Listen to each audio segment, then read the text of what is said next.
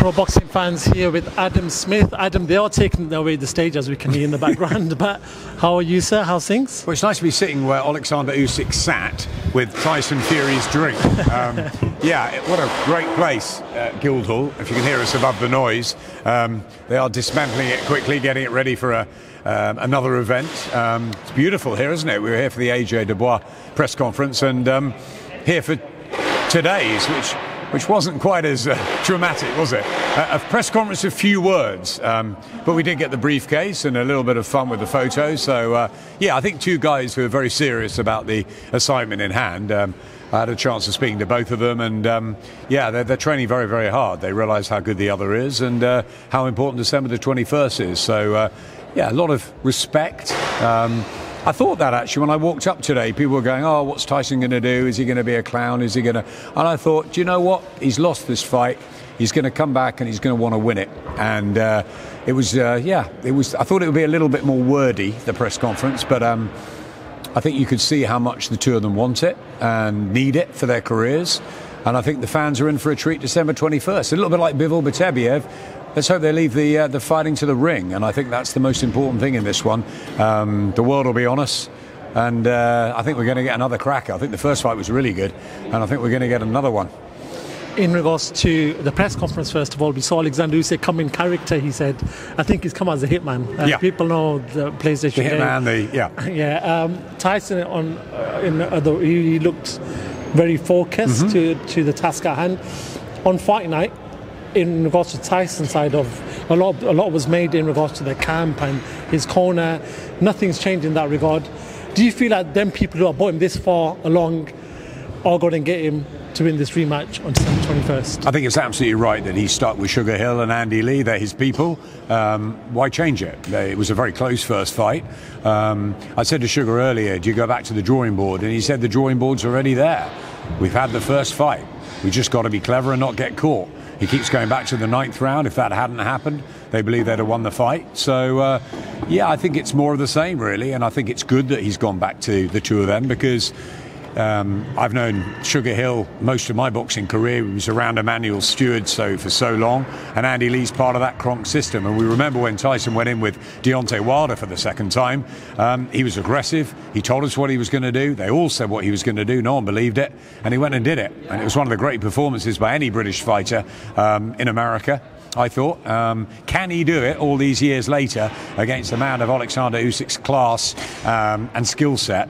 Well, we don't know. But um, it's, uh, it's a very interesting fight, and the fact that both sides at the press conference were calm and, and um, full of uh, um, self belief, but also full of respect for the other team, uh, just goes to show you the importance of this fight. Yes, it was for undisputed last time around.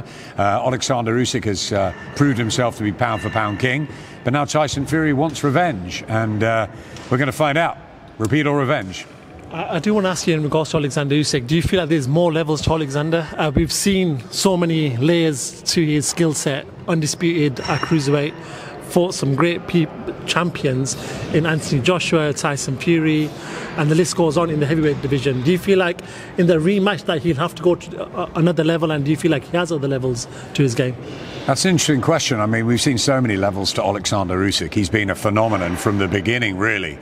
Since he turned professional, he's done everything asked of him. Undisputed cruiserweight king, undisputed heavyweight king. Let's not forget the 350 amateur fights he had. Gold medal in the Worlds, gold medal in the Olympics in London 2012. Um, he's done it all, and he keeps baffling us, even at this stage. Oh, he can't make heavyweight. Oh, he just scraped past Derek Chisora. No, he didn't. He beat Derek Chisora, and then he went up and he beat Joshua twice, and he beat Dubois, and he beat Fury. So when are they going to start believing that this guy is a modern great and that he is one of the best fighters we've had over the last 20, 30 years? Is there another level to him? I don't know. Well, we need to see it. His footwork is still exquisite. He's a consummate professional. Um, he's late 30s, but there's no sign of him slowing down.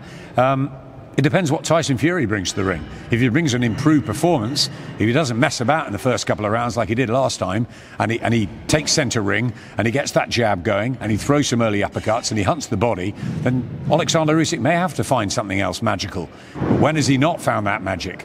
He's found it every time it's been asked of him. So um, I wouldn't write him off in this one of finding it again. But it could be another tough one. And if Tyson gets it right this time, it could be nail biting for the Usyk camp.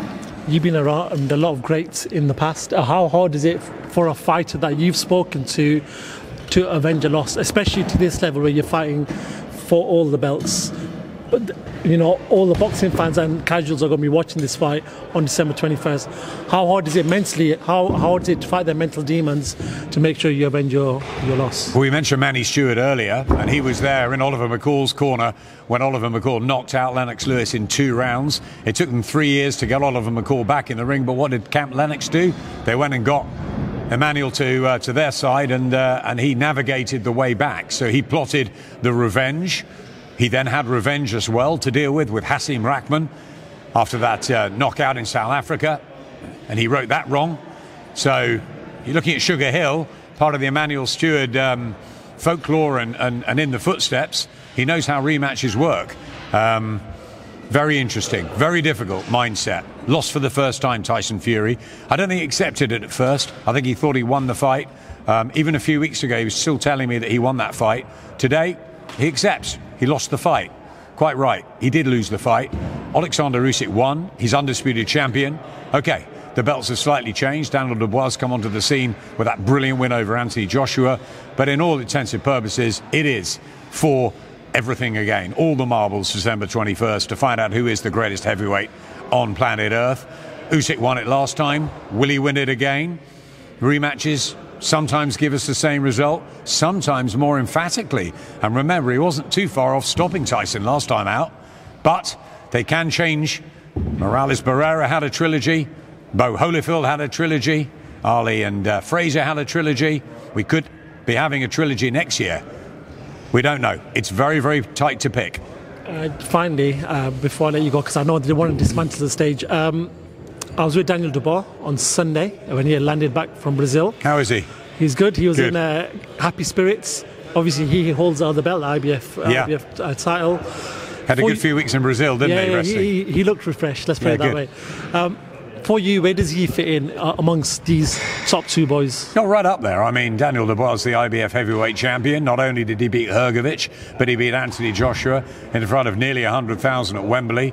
Um, and he absolutely crushed Joshua. You know, he didn't let Anthony get into the fight. Um, he won it brilliantly.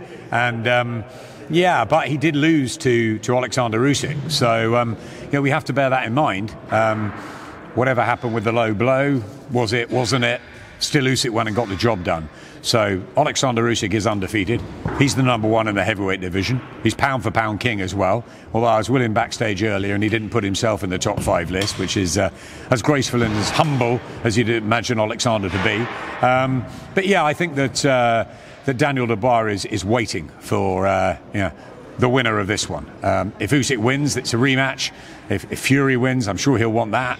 Um, but AJ will want to get Daniel Dubois back in a ring. So there's a lot for Turki Al Sheikh and the guys to work out in uh, in Saudi and how it's all going to play out in 2025. Will we get the Fury Joshua fight we've been hoping for for years? At the moment, what we do know is what we've got in front of us. In eight and a half weeks' time, it's Usyk and Fury too.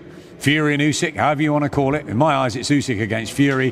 Fury's the challenger. Usyk's the man with the belts, the man with that number one mantle. So let's see what happens on December the 21st. And I'm sure Daniel Dubois will be a very interested spectator. I hope he had a good rest, a good holiday. He deserves it. And he'll be back in 2025 to try and prove himself as the number one heavyweight in the world. Isn't it great? Fantastic. Adam Smith, always a pleasure, mate. Thank you so much for your time. Cheers. Thank you.